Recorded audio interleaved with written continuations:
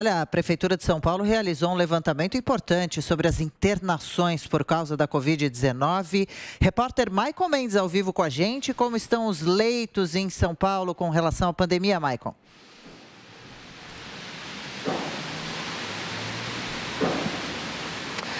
Adriana Tiago, a gente fala ao vivo aqui em frente ao Hospital Municipal da Bela Vista. A gente vai dar uma notícia até que muito importante para grande parte da população.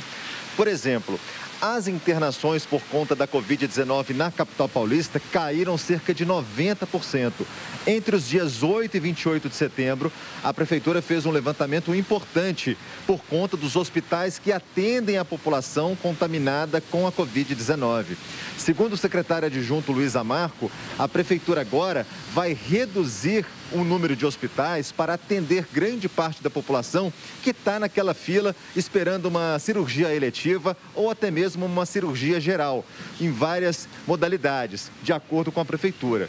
Olha os números que eu vou passar para vocês a partir de agora. Em agosto, eram 730 leitos de UTI da rede municipal, com 28 hospitais atendendo todo, todos esses leitos.